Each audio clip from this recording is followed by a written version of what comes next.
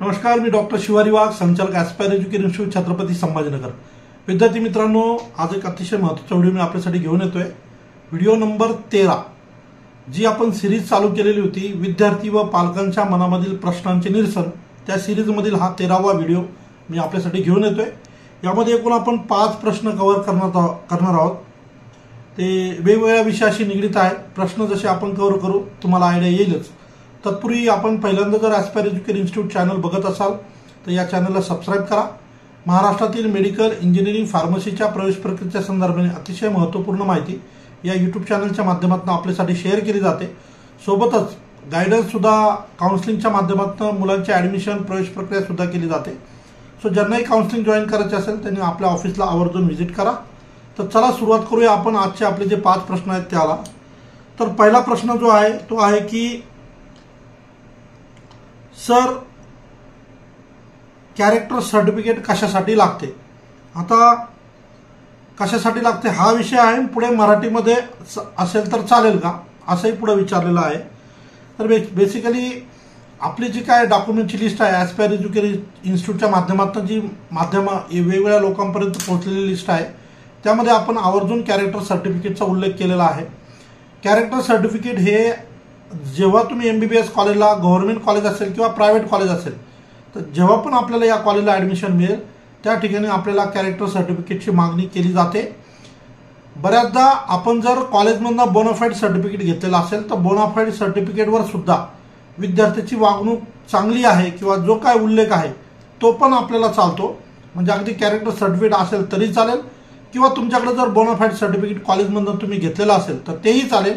त्यावर सुद्धा विद्यार्थ्याची वागणूकच्या संदर्भामध्ये एक शेरा असतो किंवा उल्लेख केलेला असतो.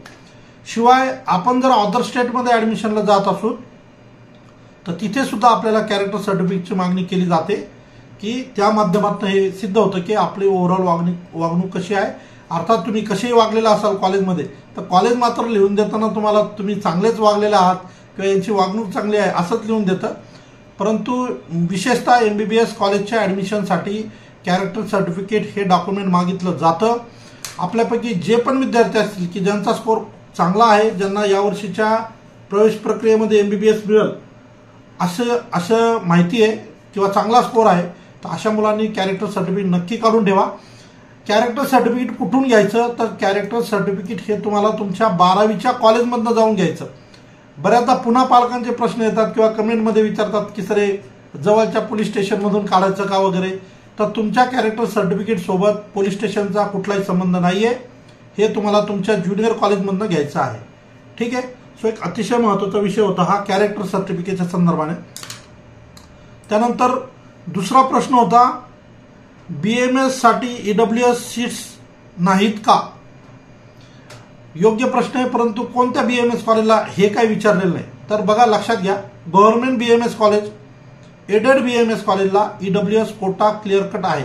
टेन पर्सेंट सीट्स आहेत. परंतु प्रायव्हेट कॉलेजमध्ये सुद्धा मुलांना ईडब्ल्यू एसच्या मुलांना ॲडमिशन मिळतात. जरी ईडब्ल्यू एसच्या सेपरेट जागा नसतील तरी आणि सोबतच फीसचा बेनिफिट सुद्धा मिळतो.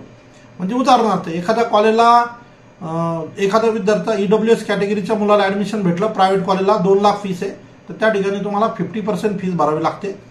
कदाचित सुरुवातीला दोन लाख भरून घेतले जातील पण दोन तीन महिन्यानंतर तुम्ही जी काही स्कॉलरशिपची प्रोसेस आहे त्याची पूर्तता केल्यावर एक लाख रुपये तुम्हाला परत येतात म्हणजे प्रायव्हेट कॉलेजला सुद्धा ईडब्ल्यू एसचं फीसमधले सवलत जी आहे ती लागू आहे.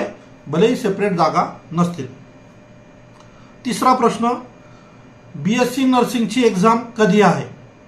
बघा ऑफिशियली अजून कुठली डेट जाहीर झालेली आहे. ऑलरेडी फॉर्म सुरू झालेले आहेत.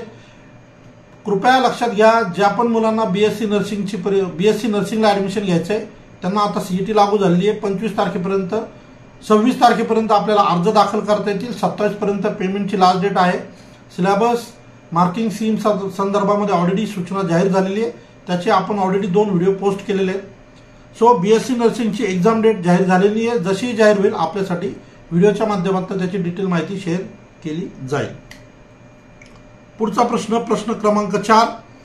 Sir private M B B S कॉलेजला हॉस्टेल कंपल्सरी आहे का? आता बघा जे कॉलेजेस सिटीमध्ये आहेत मोठ्या सिटीमध्ये आहे जिथं की बाहेर राहणं इतकं कम्फर्टेबल नाही आहे किंवा अफोर्डेबल नाही आहे त्या केसमध्ये हॉस्टेल फॅसिलिटी फॅसिलिटी जर आपण घेतली तर ती चांगलीच आहे. मोस्टली जेवढे काही M B B S colleges हे मोठ्या ठिकाणी लोकेटेड आहेत तिथं हॉस्टेल सुविधा असतात. आणि हॉस्टेल तुम्ही घ्यावं किमान पहिल्या वर्षी तरी घ्यावं असा माझा आग्रह राहील. कंपल्सरी काही ठिकाणी पहिल्या वर्षी आहे काही ठिकाणी पूर्ण पाच वर्ष आहे. काही ठिकाणी तुम्हाला पहिल्या वर्षी घेऊन नंतर तुम्ही बाहेर राहू शकता. डिपेंड ऑन कॉलेज परंतु कॉलेजच्या कॅम्पसमध्ये राहिल्याचे खूप सारे बेनिफिट मिळतात. किंवा जवळच तुमचा वेळ वाचतो येणं जाण्याचं ट्रॅव्हलिंगचे एक्सपेन्सेस वाचतात. आणि बऱ्यापैकी तुम्हाला अभ्यासाला किंवा नंतर जेव्हा भविष्यात प्रॅक्टिस चालू होईल इंटर्नशिप चालू होईल तेव्हा तुम्हाला तिथल्या तिथं वेळ देणं थोडंसं सोयीचं होतं. बऱ्याचदा कॉलेजच्या कॅम्पसमध्ये असल्यामुळं हॉस्टेल सुविधा सुविधेसह मेस फॅसिलिटी तिथंच असते लायब्ररी फॅसिलिटी असते इथं स्पोर्ट्स फॅसिलिटी असते जिथं तुम्हाला वेगवेगळे खेळाचे जे काही ऑप्शन्स आहेत फिटनेससाठी उपलब्ध असतात. म्हणून मोस्टली पहिल्या वर्षी तरी किमान आपण हॉस्टेल फॅसिलिटी ही कॉलेजची घ्यावी. आणि जर नंतर त्यांनी परमिट केलं तर मग बाहेर आपण राहू शकता. परंतु असं स्पेसिफिक सांगणं कठीण आहे की कोणत्या कॉलेजला की तुम्हाला हॉस्टेल कंपल्सरी असेल आणि कोणत्या कॉलेजला नसेल परंतु फर्स्ट इयरला तरी आपण हॉस्टेलला राहावं हा माझा एक सल्ला तुम्हाला आपुलकीचा असेल. आणि आजचा शेवटचा प्रश्न सर एम बी बी एसला सेमी गव्हर्नमेंट कॉलेजला ॲडमिशन मिळाले परंतु फीस अभावी ॲडमिशन घेऊ शकलो नाही तर बी एम एसला पात्र राहील का? तर yes M B B S college तुम्हाला मिळालं पहिल्या राऊंडमध्ये सेकंड राऊंडमध्ये आणि तुम्हाला सेमी गव्हर्नमेंट कॉलेज मिळालं. जर आपण तिथले फीज भरू शकलो नाही तरीही आपण बी एम एसच्या इकडच्या राऊंडमध्ये पात्र असतो. कारण आपल्या सगळ्यांच्या माहितीसाठी सांगतो M B B S B D S हे ग्रुप एमध्ये असतं.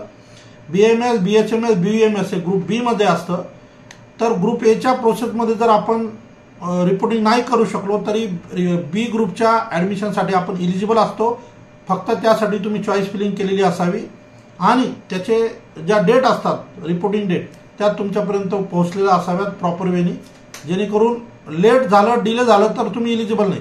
पण विदिन अ टाइम फ्रेम तुम्ही रिसर डी डी काढून जर बी एम एस कॉलेजला रिपोर्टिंग केलं भलेही एम बी बी एस भेटलं होतं तुम्ही घेऊ शकले नाही तरी तुम्ही बी एम एसला जाऊ शकता. सो यासाठी जे येतं तुम्हाला तिथे टाईम टू टाईम जे नोटिफिकेशन येतात त्यावर खूप बारीक लक्ष ठेवावं लागतं. जेणेकरून कुठली डेट तुमच्याकडनं मिस होणार नाही. आणि आमच्यासारख्यांच्या माध्यमातून जे काही काउन्सिलिंग करणारी मुलं आहेत त्यांना तर सगळी माहिती जातच असते. परंतु जे शेड्यूल बऱ्याचदा कधीतरी चेंज होतं एक्सटेंड होते एक्सटेन्शन मिळतं त्याला. किंवा वेगवेगळ्या गोष्टी मध्येच काहीतरी येत राहतं. तर त्यासाठी जे तुम्ही काउन्सिलिंग नक्की जॉईन करा.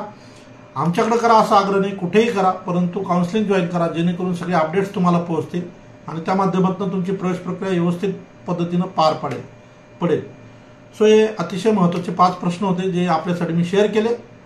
व्हिडिओ आवडल्यास व्हिडिओ लाईक करा आणि अशा महत्त्वपूर्ण माहितीसाठी ॲस्पायर एज्युकेर इन्स्टिट्यूटच्या यूट्यूब चॅनलला सबस्क्राईब करायला विसरू नका. या ठिकाणी मी थांबतो. धन्यवाद.